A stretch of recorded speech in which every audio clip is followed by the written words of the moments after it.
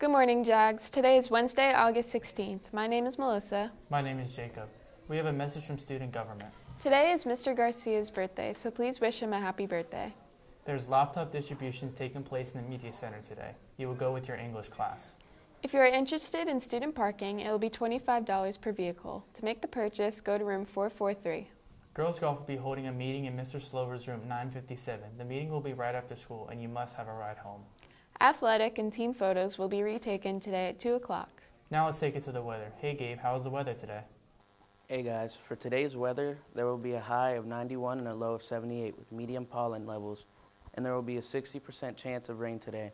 That's all for the weather. Now back to you guys. And here's Alex for today's sports.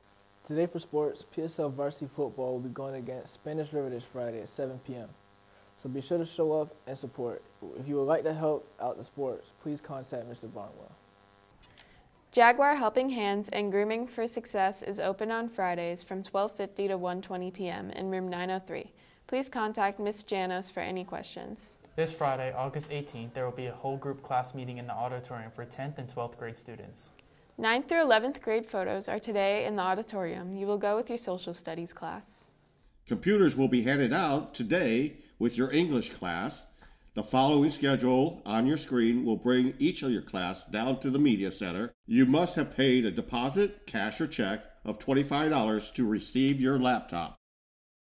You can also bring a receipt for payment if you have already paid using School Pay. Be sure to look at the schedule to see what teacher and day you have to get your photo done. Thank, Thank you, you for joining us here at JTV, News. Have, Have a great day. day. Remember, Remember Jags, one team, one dream.